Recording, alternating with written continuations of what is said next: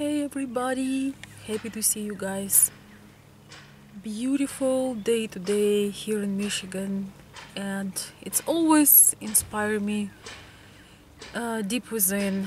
I love seeing um, beautiful blue sky and blossoms, so I am just relaxed, taking a little bit of time off, and I was thinking about um, bring the topic um, of importance of um, complimenting uh, the most important person in our life. Um, you know our husband wife partner um, our man or woman. Um, so sometimes we think that well you know compliments are fake or you know it's artificial or it's a lie or you know all that stuff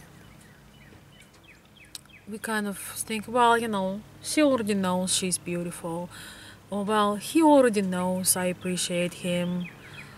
But, you know, really, I think it all boils down to just keep that um, mutual feeling of joy and, you know, um, keeping that emotional connection up. And i think you know when we just meet you know we're crazy about each, each other. We we compliment each other. We are eager to know more and you know we all excited. And obviously relationships and love have different stages. And but I think one thing should be consistent and that we should always concentrate more on the positive. You know, we're going to have real life struggles, we're going to have bad days, we're going to have low days, off days, it's just part of it. But when we have a moment um, and we see something wonderful about our partner and you know we we can never go wrong with telling them over and over again how much we love it how much we appreciate. Uh, it can be anything you know from the way they look to the way uh, that wonderful feeling they create uh, to the you know meals they make for us you know to the just joys that they bring into our life. Um, in Russia and Ukraine, we have this uh, myth that oh, if you compliment your partner too much, they're gonna leave you. You know, you're gonna they're gonna become arrogant and they realize how precious they are and they're gonna leave you. And I would say that it's so so not true. People leave us when we stop appreciating them. That's where people leave us when we take them for granted and. Um, concentrate on negative, on things they hadn't done or hadn't accomplished, um, that's when they can't. Um, when we are around, they feel bad about themselves, and that's where bad things start. Um, so I really think it's um, super important to be precise and compliment them.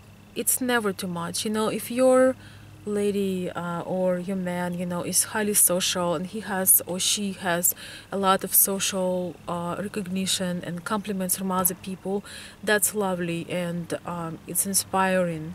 But remember that the compliment you give to your lady if you are her man has the most value for her. So it's maybe her dad or you know her son or her daughter. You know our circle our closest circle um, appreciations that we get there it always have lots of lots of value in it because these people take invaluable place in our life. We appreciate strangers who tell us a good word. We do appreciate uh, colleagues or, or friends or acquaintances. I mean it's always feels amazing. It's always in, inspiring when somebody point something out that you might even have no idea you had. And somebody points something out it might make your day it might inspire you to do more. I mean might you know when you point out something great about your partner he might even um, it might change the the way the whole day goes.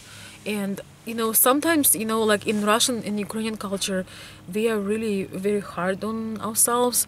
So we often beating ourselves down and uh,